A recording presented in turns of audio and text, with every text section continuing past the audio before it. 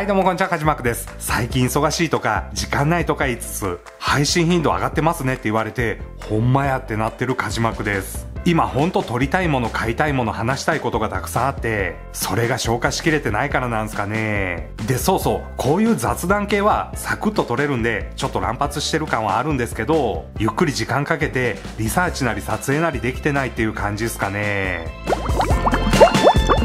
ここんとこ顔出しも全然してないんで、もしかしたら最近ご登録いただいた方は顔出ししない配信者だと思ってる方もいらっしゃるんじゃないでしょうか。要は手抜きでサボってるだけなんで、また顔出しした時はよろしくお願いいたします。ってことで今回も手抜き雑談いきたいと思います。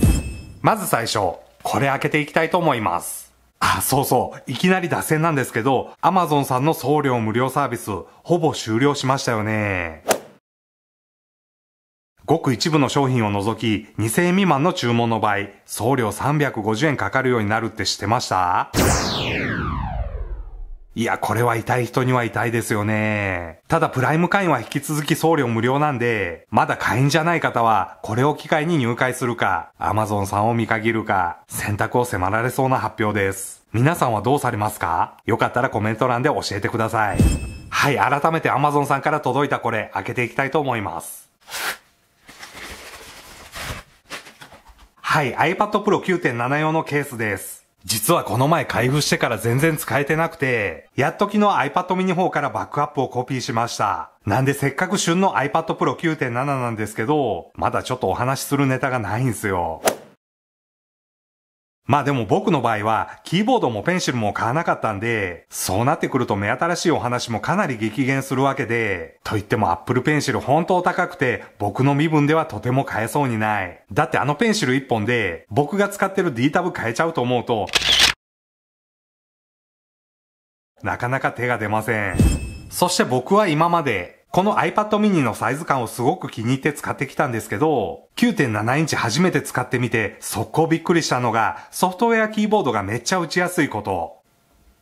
はい、わかりますかね？この大きさ。普通にタイピング的な打ち方ができるんで、まあ、仮にトラックパッドがついてカーソル出るとかだったらハードウェアキーボードの購入も考えたと思うんですけど、文字打ちだけならソフトウェアキーボードでも僕はいいかもしれないってね、今更っすよ。今更だけど9.7インチの恩恵を感じてるところでした。やっとこの動画からこいつを使っていけるんで、またしばらく使ってから改めてご紹介ご報告の動画作りたいと思います。って早くケース開けろやって話っすよね。はい、それでは開封してつけていきたいと思います。今回購入したケースはこちら。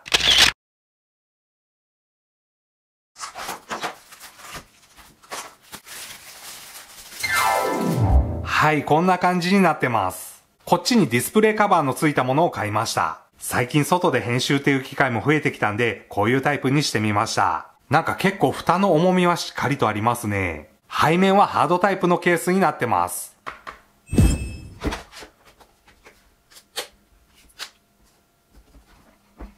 はい、装着するとこんな感じ。今回僕がこだわったのは、背面ケース側がベゼルを覆わないこと。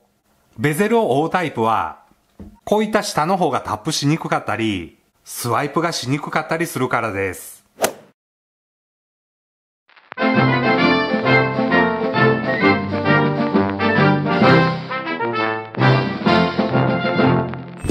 はい、わかりますかね？上蓋もしっかり閉まって気持ちいい。で、もちろんオートスリープにも対応してます。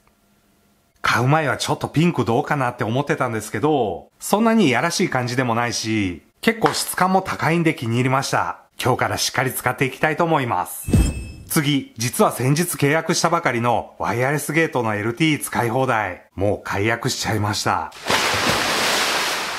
いや、めっちゃ迷ったんすよ。本当はレキオスモバイルを解約して、ワイヤレスゲート VS 山田シムプラスやろうと思ってたんですけど、いや、もうこれは僕の確認不足。なんとレキオスさん、解約月日割りなし、月初に解約しても丸々月額かかるっていうね。しかも僕の縛りの解約月は今月以降なんで、どっちみち今月はレキオスさんを使わないといけなかったわけです。もうちょっと考えてからにすればよかったかなって思うぐらい。実はワイヤレスゲートも僕の使用時間帯や用途的にはさほどストレスもなかったし、単純だけどシンプルなアプリも気に入ってたんすよ。1日ごとの通信量を簡単に見れる仕様は結構好きでした。で、その便利なアプリって超簡単に解約までできちゃうんすよ。ってことで、もう考えるのめんどくさくなって、ついポチって解約しちゃったっていうのが本当のところです。